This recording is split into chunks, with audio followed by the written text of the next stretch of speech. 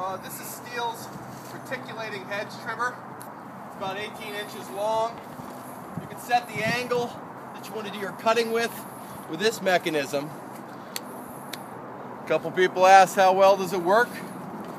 Let's show you.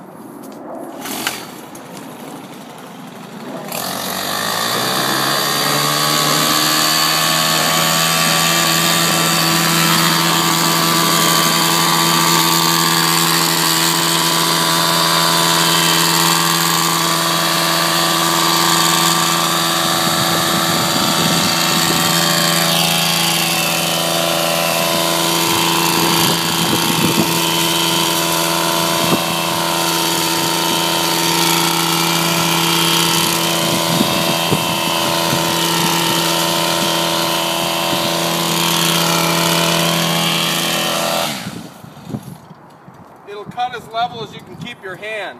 Where it's really impressive in Seattle is on the blackberries. Let's show you that next. The power size by Stihl is pretty awesome, but I find with blackberries, nothing works better than the longer version. The only problem is, because it's a bigger piece of metal, it's a little heavier and awkward to wield. So if you're up to it and you really feel like you're strong and you want to go at it, I'd recommend using the hedge trimmer attachment on the blackberries. Let me give you an example.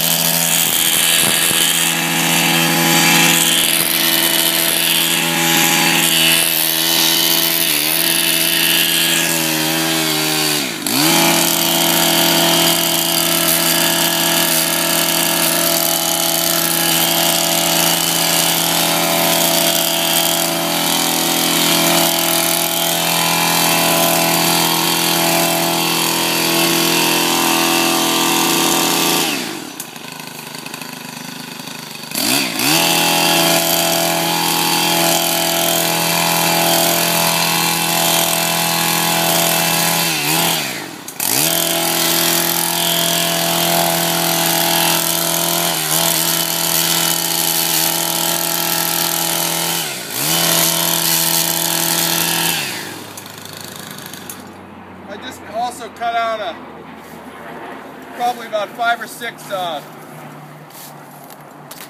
small nut trees that were coming up as well. It gives you an idea what you can do. The key is to keep going over it till you mince it small enough that you can rake it out or you let it rot a season or two and come back over it.